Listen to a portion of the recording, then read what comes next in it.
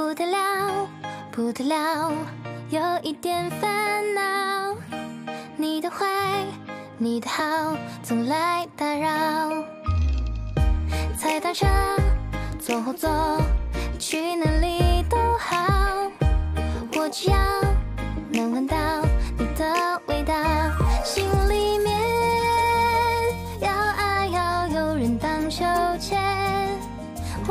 想你就出现在我的身边，这个夏天一起逃跑，只带上你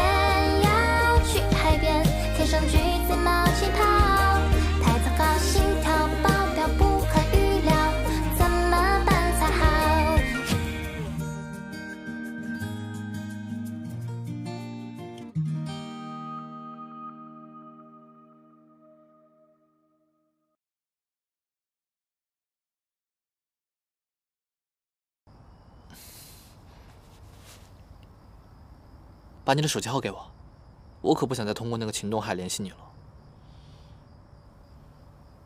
好吧。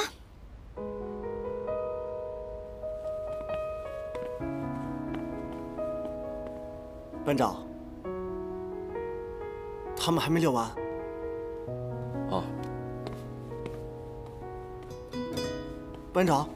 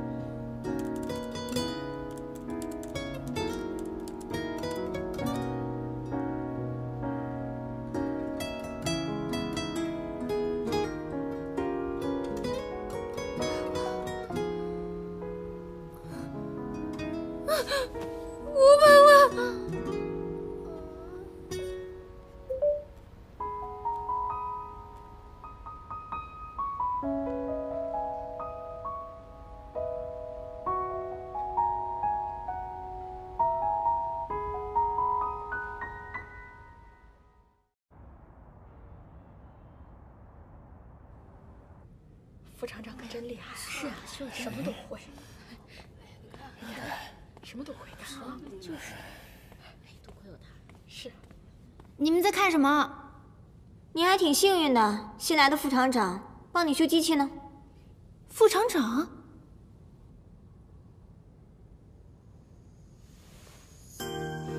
试一下。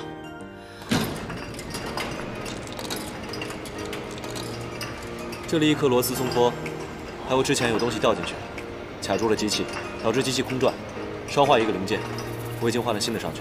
哦，哈哈哈哈哎呀，秦总监，啊不，秦副厂长，真是，哈哈，佩服佩服啊！总公司来的就是不一样，还有新来的副厂长帮你修机器，五百万都省。你就是花小秦吧？秉承着承前毖后、治病救人的方针，工厂这一次不会处分你的，但是更换零件产生的费用，需要你照价赔偿。哎，还不赶紧谢谢秦副厂长！谢谢。大家好，跟大家自我介绍一下，我是咱们厂新来的副厂长秦东海。这段时间大家都很辛苦，我都知道。我这次来呢，就是想来改变工厂。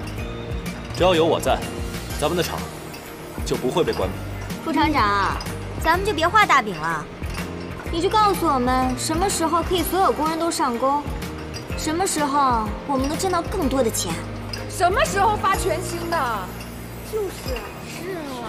我知道，大家都是工厂的老员工。我也知道，你们担心什么，想要什么。简单的说，我会恢复老董事长给大家承诺的基本工资，后面还会有新的订单进来，我们大家一起努力完成订单。我希望大家能够赚到钱，我也希望工厂能够回到正轨，这个是我来的真正目的。啊啊，呃，秦副厂长说的对啊，有秦副厂长在，咱们厂一定会恢复到往日的景象啊！大家都散了吧，散了吧，散了吧。走走走，抓紧干活！啊，副厂长，呃，走，我带您随便看看。太过分了，东海，那么大的事情你不跟我说一声，我还真的以为你帮着明月把五百万的账给还了呢。你说你要背那个债，你以后怎么结婚？你这么大的事你都没跟我说，害得我为了那个破机器，我一整晚都没睡着，严重失眠。没道理啊，这么重要的事我怎么可能漏掉呢？就是啊，班长，你太不够意思了。你究竟什么时候去应聘的？对啊。赶紧说！华明晨居然篡改了遗嘱，还把明月派到了第一工厂。明月手里本来是有录音的，但他过去找华明晨对质的时候，被华明晨把证据销毁了。华明晨肯定为了那段录音，才故意把明月派到了工厂，还一心想关闭工厂。接下来还不知道他耍什么手段。我们认为。证据是在集团某个人手里，他应该跟我们一样，想让华明晨下台。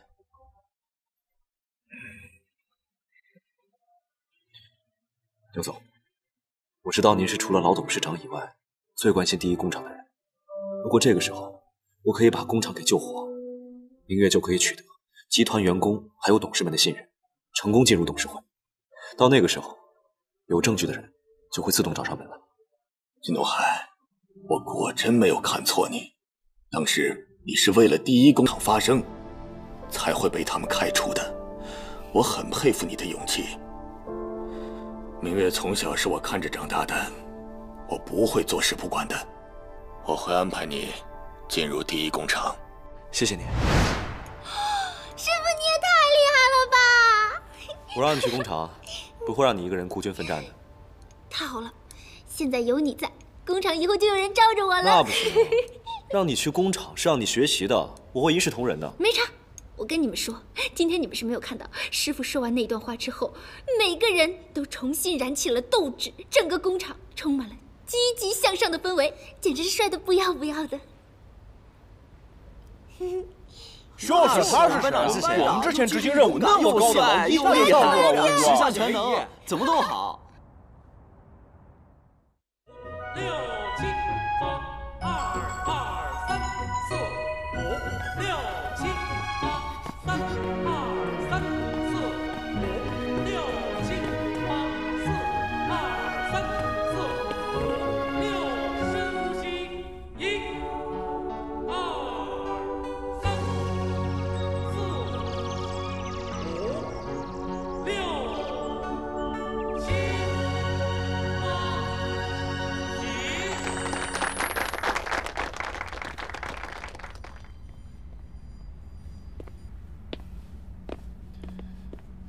大家早上好。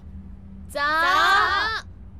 为了大家有更良好的工作环境，以下宣布的新规则，希望大家遵守配合。从今天起，我会主抓厂风厂纪、人员管理，恢复上下班打卡制度。过去大家打卡马虎，对于工厂的环境卫生懈怠，关于这一点，大家一定要改正。啊？这这怎么真玩不了了？大家希望工厂重新振兴，那就需要你们每一个人打起精神，鼓起干劲。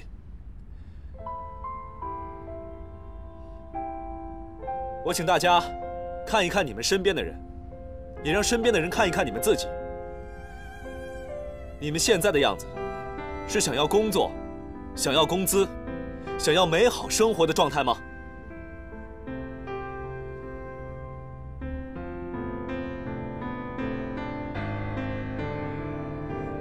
大点声告诉我，想不想？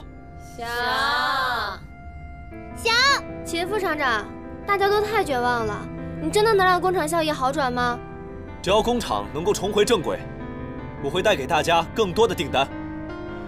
工厂的利润越高，大家的工资也就越来越多。这是我带给大家的承诺。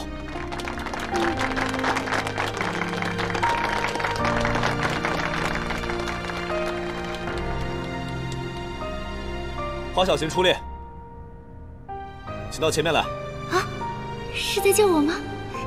该不会是我把工服改得太好看，要让大家看看吧？嗯，真是有眼光。哎哎，我既然大家来厂里工作，就要遵守厂里的规定。嗯，工作期间一定要穿工服。嗯，禁止改造工服。花小琴私自改工服，扣发三天工资，记大过一次，以儆效尤。具体的规章制度，稍后我会发布在公告栏里面。从明天开始，马上实行。好，秦副厂长讲得好啊，支持秦副厂长新规定啊。好。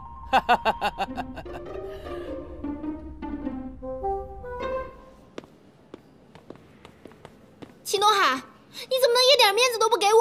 我说过了，赏罚分明，严格管理。那你也不能让我在大家面前这么丢人吧？站好。你千万不要忘了，你来工厂的目的。想要救工厂，你必须以身作则，你必须要做的比别人好，因为只有这样，别人才会认可你，支持你。你看看你，把工作服改得不伦不类。整个工厂里只有你一个人标新立异，我怎么就标新立异了？这工作服怎么就不伦不类了？改得多可爱、好看又清爽，一点也不死气沉沉，像你一样。你有没有审美啊？这里是工厂，我要的是纪律。只有好的纪律，才有好的工作态度。有了好的工作态度，才可以提高工作效率。谁说纪律和赏心悦目就不能同时有啊？是人就有追求美的权利。但你是来工作的，不是来选美的。谁规定工人就要穿的丑不拉几了？工人也是人，工人也有追求美的权利。你要是让我穿的不好看了，我就没有好心情；没有好心情，我就没有好的工作态度；没有好的工作态度，我就没有好的工作效率。你要是让我穿的舒服了，我就有好心情；有好心情，我就有好的工作态度；有好的工作态度，我就能提高工作效率。你这是强词夺理，立刻换回来，明天再穿，再扣你三天工资。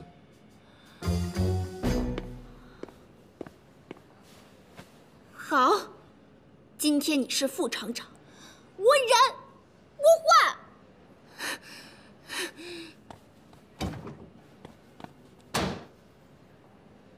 牛总，没经过我的同意，为什么擅自更换第一工厂的副厂长？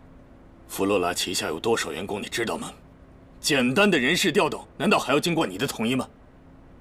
再说了，上次开例会，你给我三个月的时间，让我把第一工厂起死回生。现在还不到一个月的时间，这事儿你不会忘了吧？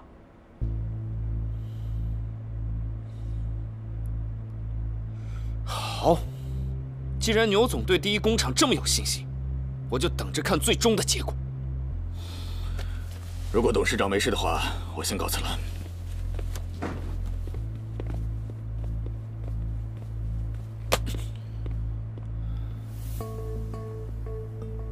散会。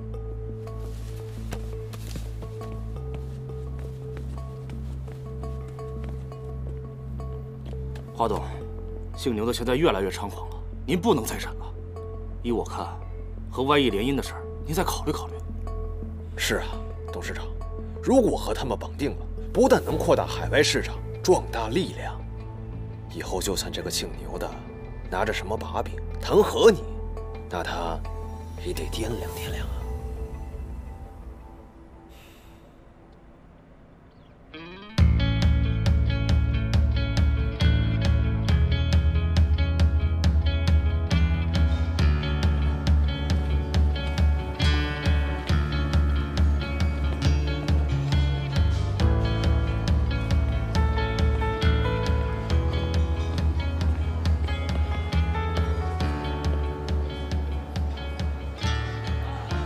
这个，这个也来一点。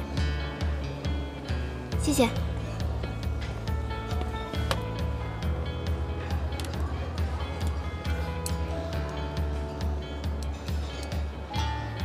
谢谢。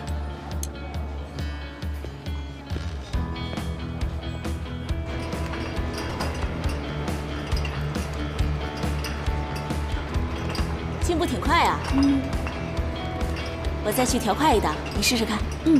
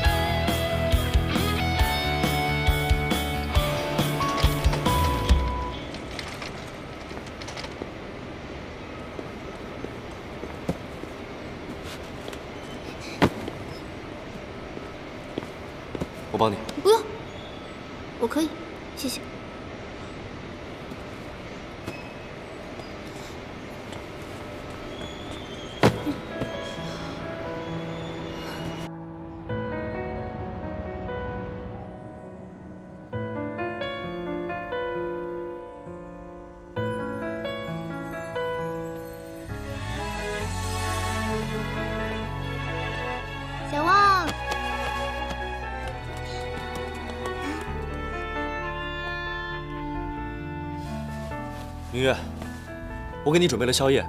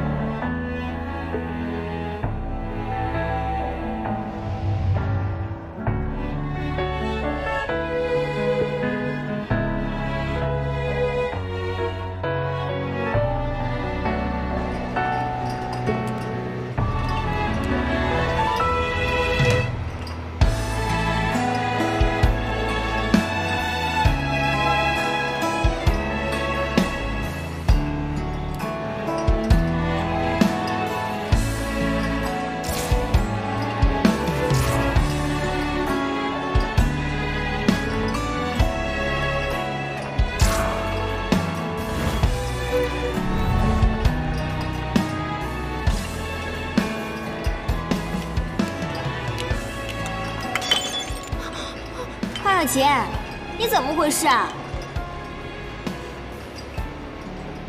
想睡觉回家睡去。对不起，我不是故意的。没事儿，帮他收拾了就好了嘛。让他自己收拾。谁犯了错误，应该自己承担责任。留花小琴一个人在这收拾，收拾干净了再走。其他人可以下班了。我可以的。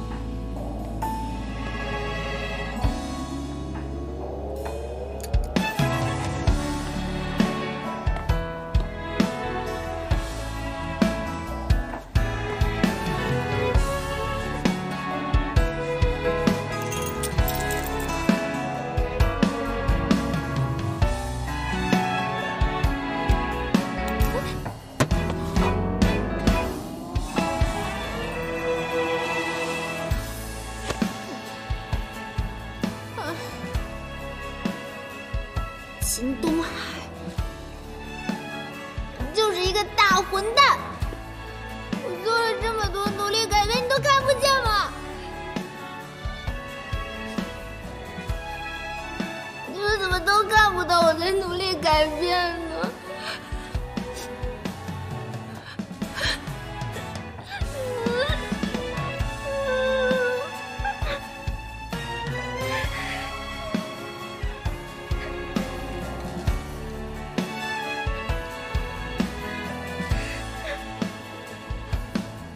明月，对不起，为了让你能够尽快回到集团，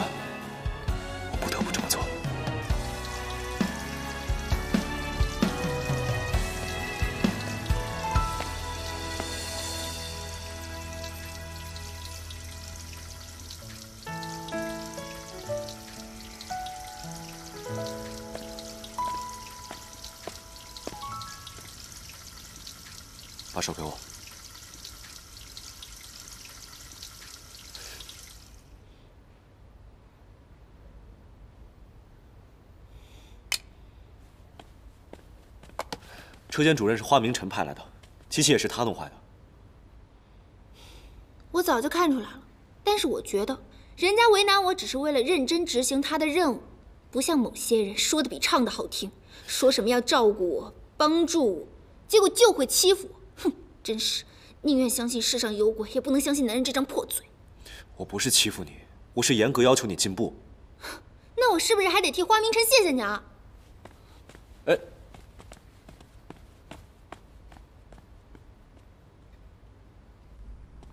老板，选中哪件自己拿。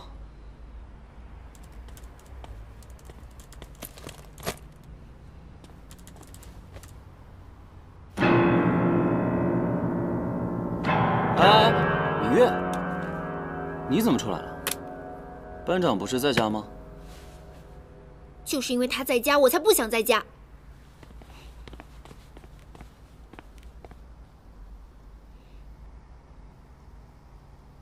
哎，明月，你怎么在这儿？刚才我们班长还问你跑哪。我来买衣服。买衣服？你每天穿工服买什么衣服？不可以吗？每天穿那么丑的工服，我连衣服都不能买了，是不是？可以，没人不让你买衣服。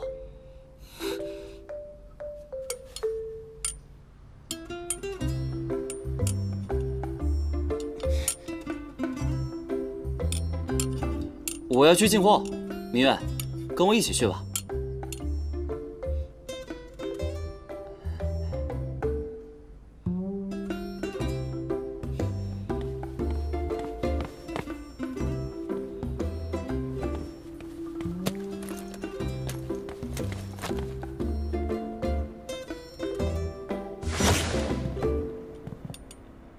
明月，这件好看吗？嗯，我觉得这个不错。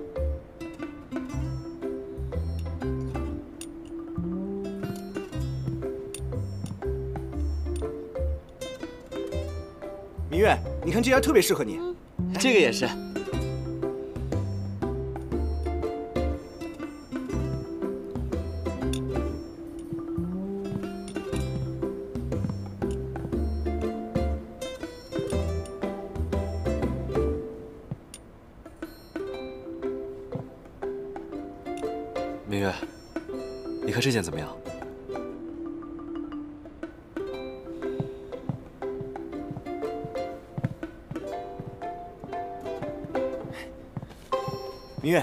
这件好不好看？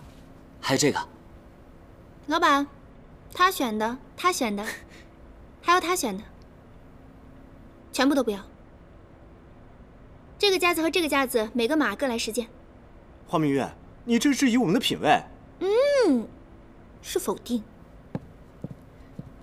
这个小姑娘不一般啊，就刚才扫了一眼，就把最新款都挑出来了。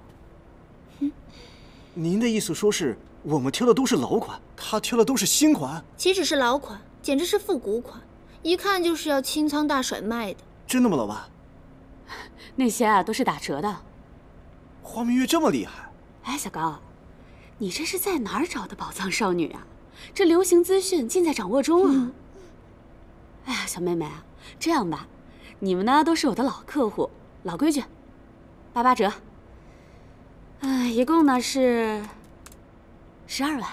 十二万，也太贵了吧！小妹妹，刚来你不懂，之前的高老板我给的都是这个价，不会坑你们的。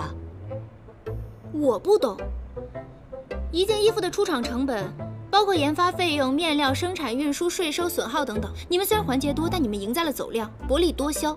我们就不一样，我们卖一件就只赚一件的钱。一般这种高档成衣的进价也就是售价的百分之二十到三十。你现在进价都这么高，我们还怎么赚钱？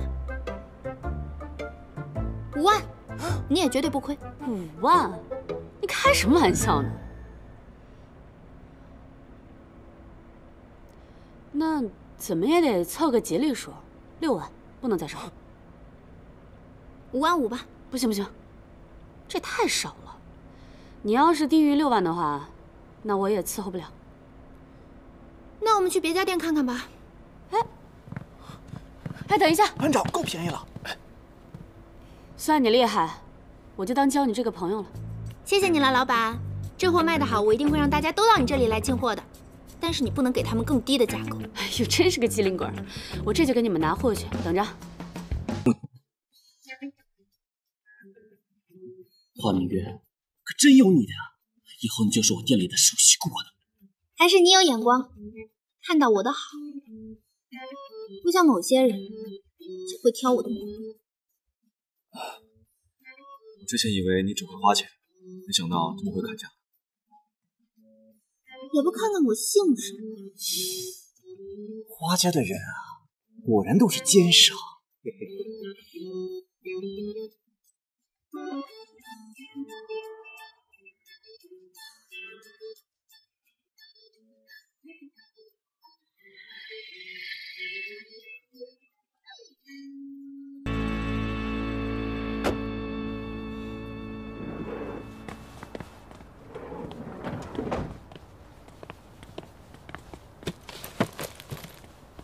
你先进去吧，我们来就好。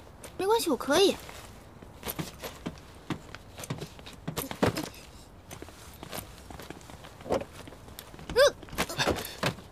小心，不要老是毛毛躁躁的，搞得自己总受伤。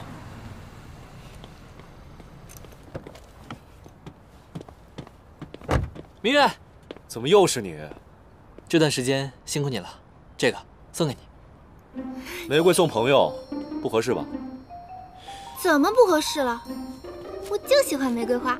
而且啊，我还订了一家红酒和牛排都特别好的餐厅，要不要去试试？好啊，我肚子正饿着呢。我刚叫了外卖。还是牛排更吸引我，走吧。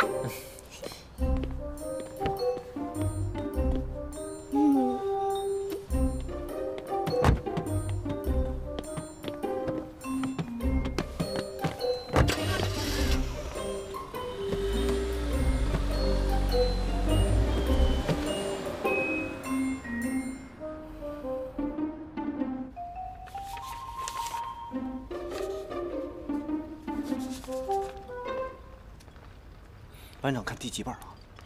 第三本。东海，吃水果。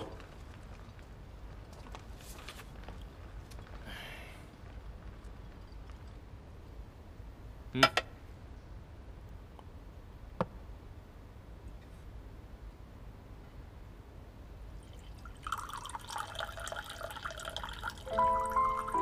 哎哎哎哎，班长，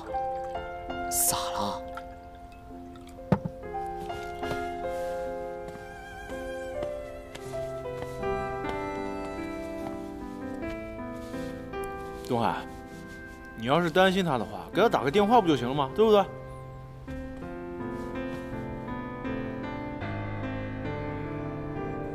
他跟谁吃饭是他的自由，我没什么好担心的，不打。不是，你这不是死鸭子嘴硬吗？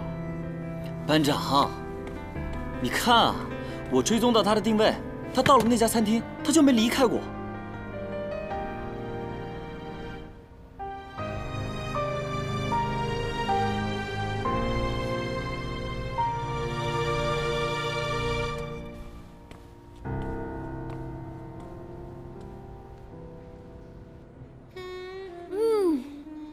我真是太久没吃这些美食了，我感觉好像回到了从前。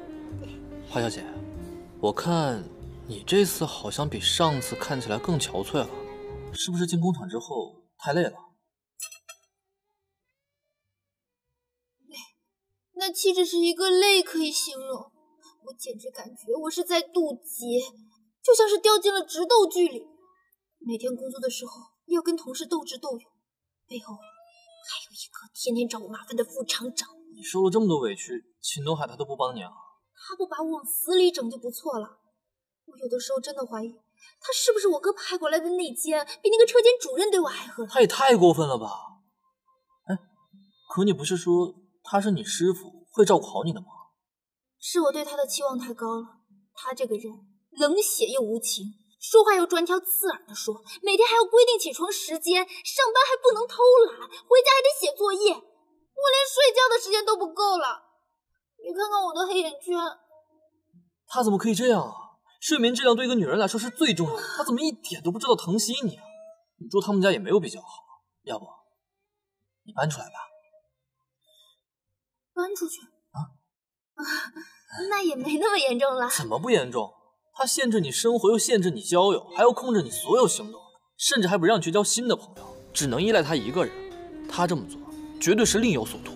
不是我师傅呢，他就是对我严厉了那么一点点。怎么不是啊，花小姐，你就是太天真、太善良了，才会相信其他人。依我看呀，他跟你非亲非故，还要收留你，让你住在他家里，他肯定是有什么见不得人的目的。哎，真不是，我师傅不是那样的人，他就是……算了。不说了，说多了都是泪，别提他了。吃饭吧。既然你心情不好，今天晚上我们不醉不归。你要喝多了，我送你回去。那谢谢你了。跟我客气什么？Cheers。你忘了你喝多的样子吧？跟我回家。我们就是吃饭而已，你管的是不是太宽了？我有义务保证他的安全，不能让居心叵测的人。有机可乘，哼，谁居心叵测？我做事光明正大，不像有些人藏着掖着。好意思说这种话？懒得理你，跟我回家。哎，你能不能尊重一下他的个人意愿？他根本就不想跟你回去。那是我们的事情。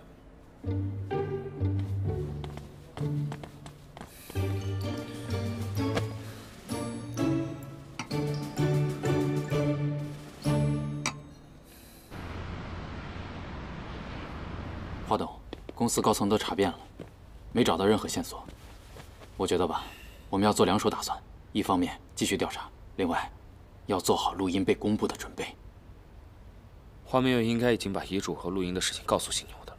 是啊，一旦让牛总先找到证据，你就更加被动，一定要有应对措施。另外，董事长，陈先生来了。啊，好。你有客人，我先走了。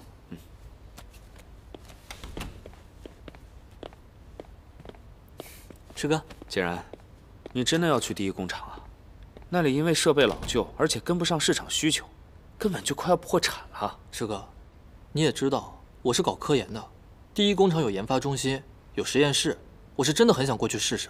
但是你搞研发还要再花不少钱呢。你给我三个月的时间，让我把第一工厂起死回生。现在还不到一个月的时间，这事儿你不会忘了吧？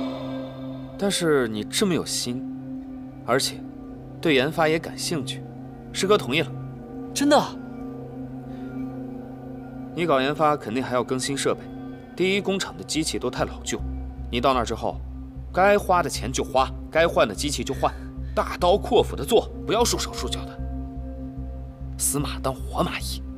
谢师哥。可是我这样直接过去会不会太招摇了？你介不介意我化个名？随你。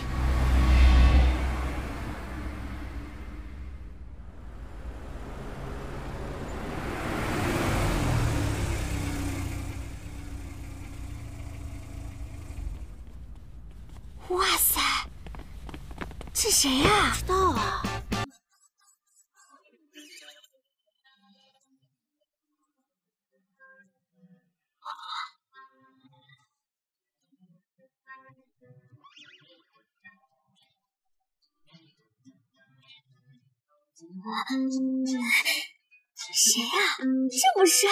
对，他真的好帅。啊！快跟过去看看。行，好好工作啊！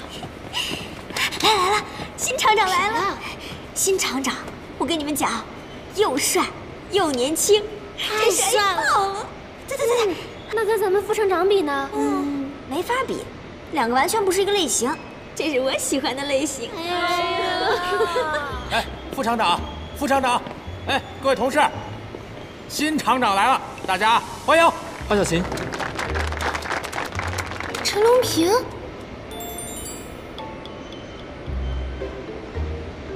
你怎么也在这儿？哦，厂长，这位是新来的秦副厂长，秦东海。陈厂长，我们出去聊吧。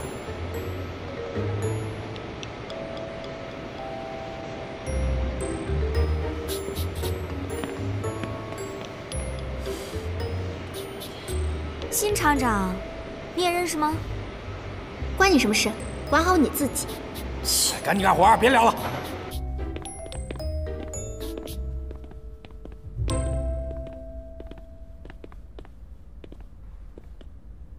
说吧，你为什么会在这儿？这句话，应该我问你吧。我现在是厂长，而你只是个副厂长，我有权过问吧？我通过应聘，合理、合法、合规。陈龙平，你来工厂真的是想帮明月吗？不然呢？你觉得我是来体验生活的？那你打算如何救活工厂啊？当然是从科技研发入手，提高工厂的核心竞争力啊！看来你根本不了解工厂的现状。工厂现在有几百号工人，现在其实已经根本……呃，两位领导聊得怎么样了？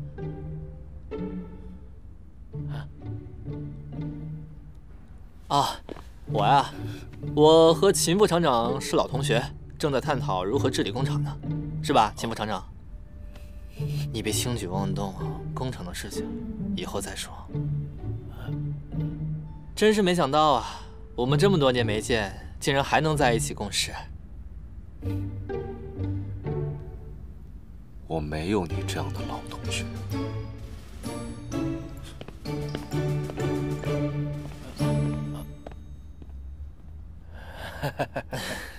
这么多年没见，他还是一点都没变。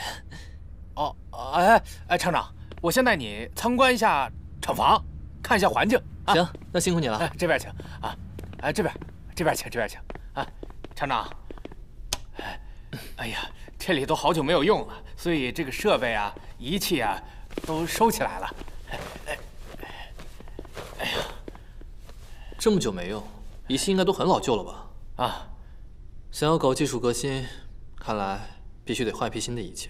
厂长，呃，咱们厂呢这几年效益不好，今年就更差了，连员工的工资都减少了一半，还购买新仪器呀？只有不断的推陈出新，才是一个工厂永远焕发生机的源泉。要是再不及时改革的话，工厂就真的完了。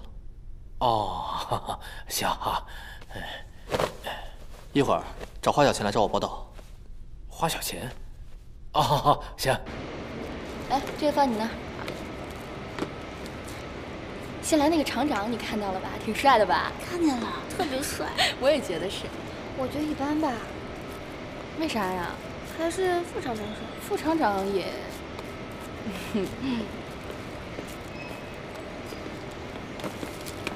花小琴，你马上到厂长办公室报道。报道？为什么？哎呀，厂长缺个助理，他指定要让你当他的助理。是我？啊？那我不用在这儿干活了。快点吧，别待着了。拜拜。快点，快点。哎，为什么厂长一来就指定花小琴给他当助理啊？就是的，肯定有什么猫腻。哼。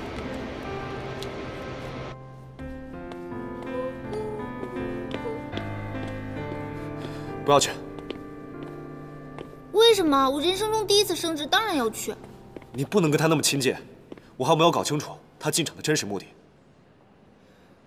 他不是来帮我们的吗？第一次见面不就帮我们解围了？你刚刚适应车间的生活，他这样带你走捷径，你之前的努力都浪费了。不是你说我也要适应管理层的工作吗？厂长助理正合适啊。哼，我现在在怀疑他的真实身份。他有什么真实身份？他的真实身份就是陈景然的助理，讨厌他的老板，所以他要帮我们啦。花小琴，你是来报道的吗？嗯，怎么还不进来？不许去！